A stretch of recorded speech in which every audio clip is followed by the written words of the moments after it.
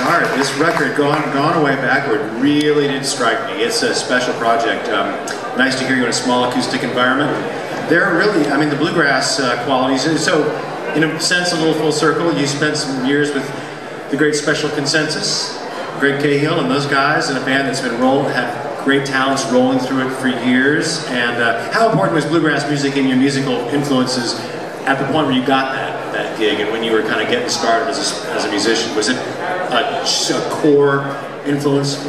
I think it was kind of my main uh, instrumental skill. You know, when I was uh, growing up, I, uh, I listened a lot of uh, my parents' music, and uh, that was like Country Gentlemen and uh, Carter Family and and you know Flatt and Scruggs, and so they were heavy into the bluegrass. And then when I got started, I, I kind of modeled myself on Doc Watson when I was starting to flat pick, and uh, I enjoyed John Hartford's music. And then growing up in the '70s, a lot of the like, like hippie, progressive people like Sam Bush and the Newgrass Revival, and, and John and, and others uh, really like uh, they spoke to me. If you remember that time, it was like uh, kind of cool that people that uh, were hippies and like uh, dressed kind of like you thought cool people dressed that they were playing the bluegrass music. That was like an important like translating device to us that were young were you starting to write stuff that when you were in that special consensus context felt a little subversive for that style that they were like um, we can't sing that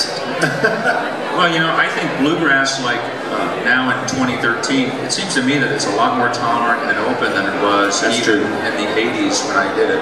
When i worked with special consensus i brought in a dwight yoakam song and there was a lot of like discussion with the label and within the band over whether that was pushing the envelope to no it's just dwight yoakam you know? It wasn't like i was bringing in a frank zappa song or something. Dudes from kentucky come on. Yeah.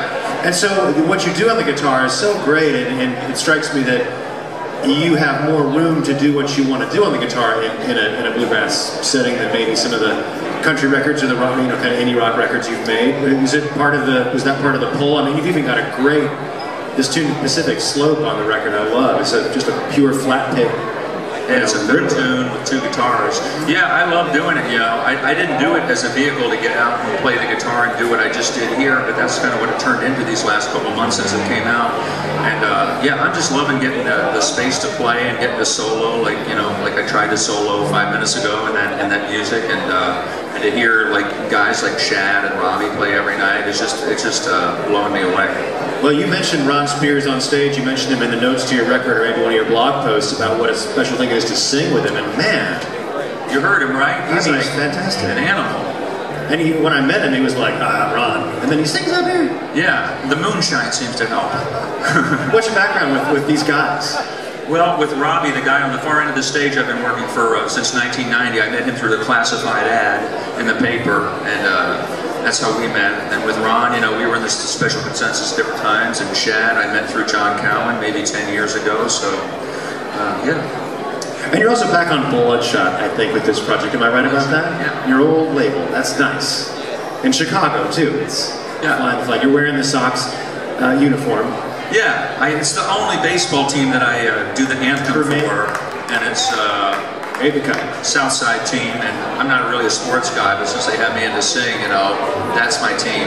And as we sign off, what's what about Chicago has kept you there all these years? Pizza. in a word.